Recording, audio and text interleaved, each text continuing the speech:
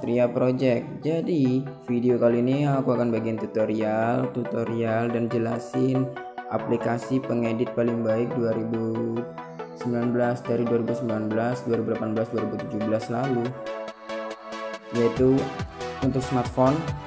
Untuk smartphone aplikasinya ialah KineMaster Mengapa KineMaster tidak Power Director atau FIFA dikarenakan KineMaster memiliki fitur yang hampir sama dengan Premiere Pro yang seperti editing aplikasi editing yang ada di PC atau komputer lainnya.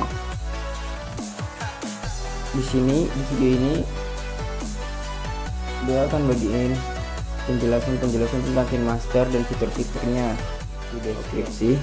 Oke, mari kita tekan tombol ini project. Nah, kalian bisa pilih aspek rasio mau 1.1 nah ini 1.2.1 ini yaitu biasanya resolusi untuk buat video-video Instagram. Nah yang mau jadi selebgram kalian bisa pakai kualitas ini. Dan yang 916 ini untuk yang kualitas seperti potret ya. Saat kalian nge-shoot video itu waktu potret. Dan yang 169 nah gue suka banget pakai 169 nah mari kita tekan 169 nah oke okay. kita sudah bikin master fitur-fiturnya nah dari pengaturan kita tekan pengaturan. Nah di sini ada otomatis pengatur audio pelemahan audio. Nah di video juga ada penyuntingan. Di sini kalian bisa mengatur berapa durasi lapisan video proyek dan foto deh project.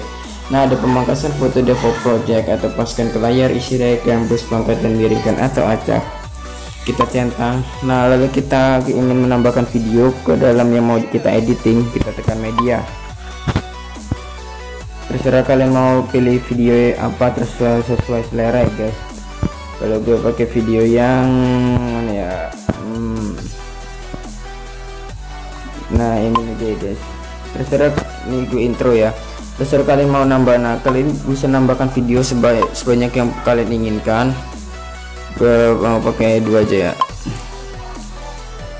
Oke kita pakai dua intro sama ini ya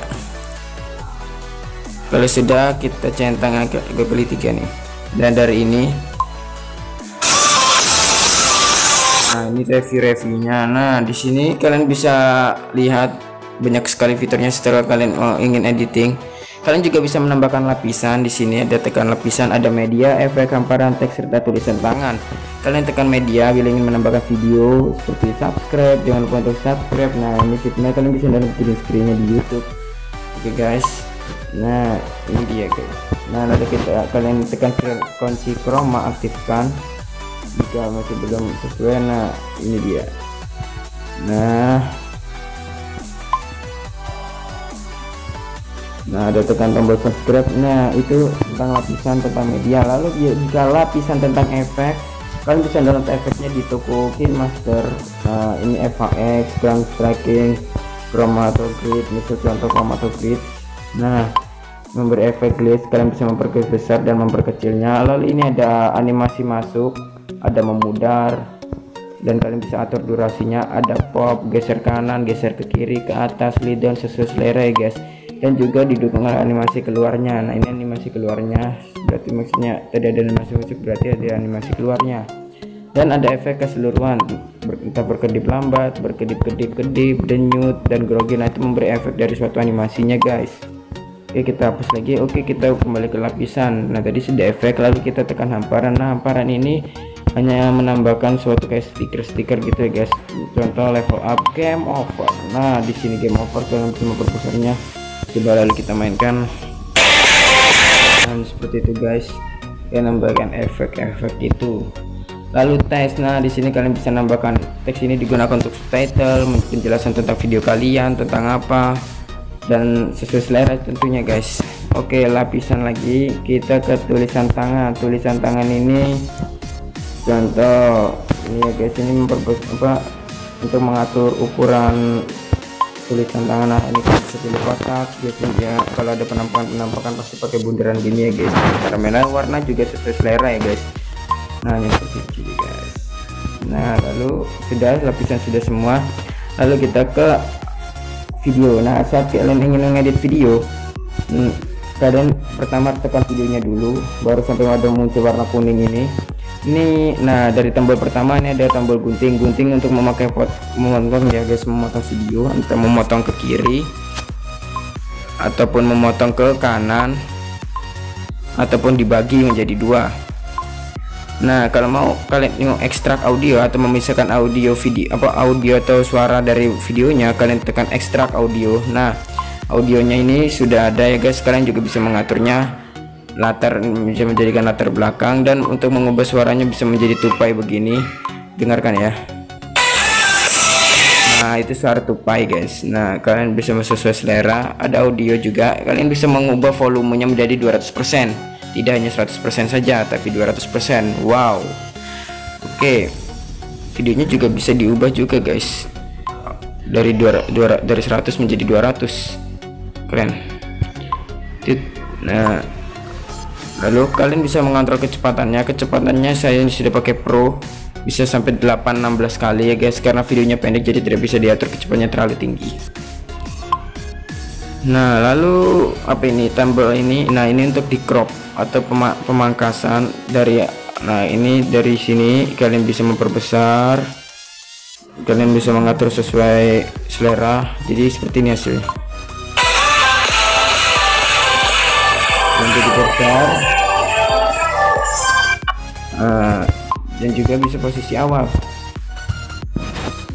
Dari sini kita atur ke tengah. Nah sesuai selera.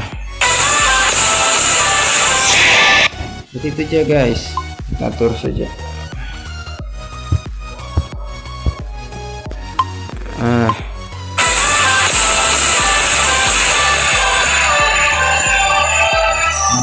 Nah, ada tem ada lalu ada kotak putih ini gunanya apa? Ini adalah transisi atau efek transisi memberi seperti efek pemindahan dari video satu ke video lain atau foto satu ke foto lain. Kalian bisa banyak transisinya kalian bisa download ya guys ada ini kotak box gelas plastik powerful dan lain-lainnya.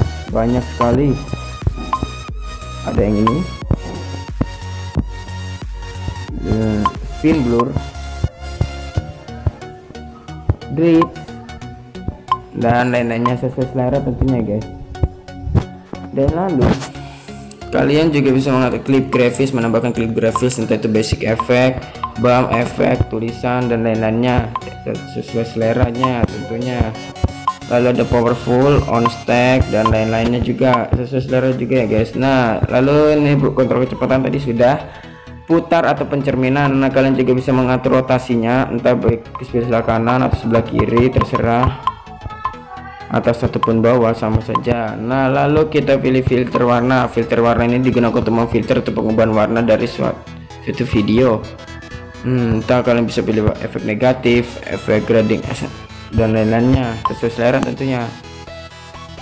Lalu ini ada amplop suara. Amplop suara digunakan untuk mengatur suara tinggi rendahnya dari suara video itu. Nah, seperti saja guys. Dan ada filter audio. Nah ini seperti tadi. Ada tupai robot ada suara dalam sesuai selera tentunya guys. Nah fignet digunakan ada gelap terang dari sisi kanan kirinya. Gak kelihatannya emang guys. Nah Fignet oke okay, hanya itu. Hanya itu saja. Kalian bisa menggunakan aplikasi KineMaster ini. Oh ya satu lagi ada kalian juga bisa menambahkan audio musik. Di sini ada audio musik. Terserah musik apa yang kalian ingin tambahkan lalu kalian tekan ini. Musik yang kalian ingin lalu tekan ada tombol tambah otomatis tambah kalian juga bisa mengatur musik menjadi 200% atau 100 sesuai selera juga guys. Ini seperti itu lalu kalian juga bisa memangkas lagu ini dari kanan kiri atau bagi, dibagi menjadi dua.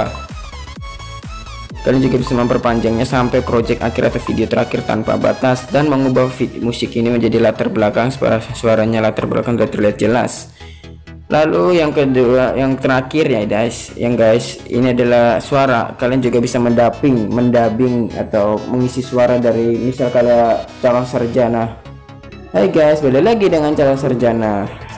Ini kita mulai. Halo guys, balik lagi dengan calon sarjana. Berhenti kalau sudah lalu kalian bisa atur efeknya lalu kita matikan dulu yang ini, ini mati. Halo guys, balik lagi dengan calon sarjana. Nah, itu dia untuk mendabing ya guys. oke. Lalu setelah semua video jika sudah selesai kalian editing kalian bisa tekan ini untuk menyimpannya ke galeri. Terus resolusinya mau apa? 360p SD 54p eh, dan HD 720 serta Full HD saya pakai yang paling tinggi ya guys. Nah ini juga untuk mengatur laju kecepatannya lalu kalian sudah percaya dan yakin untuk menyimpannya kalian tekan ekspor. Lalu kalian tinggal menunggu ekspornya selesai dan melihat hasilnya.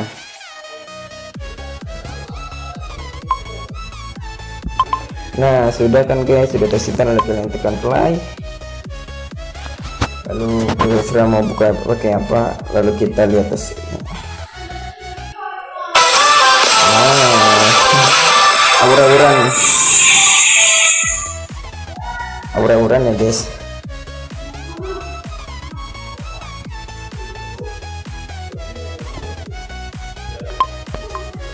Oke okay guys, jadi itu dia penjelasan tentang Master. Jadi gunakanlah aplikasi Master itu dengan sebaik mungkin karena Master ini adalah aplikasi terbaik untuk smartphone editing terbaik di 2019, 2018 dan 2020 sebelumnya. Hampir hampir hampir apa ya? menandingi dengan Premiere Pro. Master ini juga untuk bisa menambahkan efek kembar, cloning, frame freeze, menghentikan waktu, color grading, Wah terserah sesuai imajinasi kreatif kalian Oke okay. Oke okay guys jadi sampai sini dulu video kali ini Terima kasih yang telah menonton dan terima kasih yang telah komen Ini faedah. Menurut kalian bagaimana? Tolong komen di bawah sebanyak mungkin. Oke terima kasih. Jangan lupa untuk like, comment, and subscribe.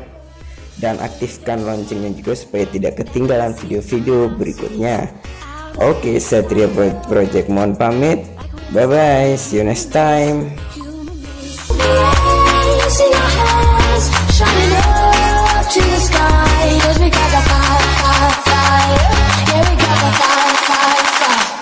gonna let it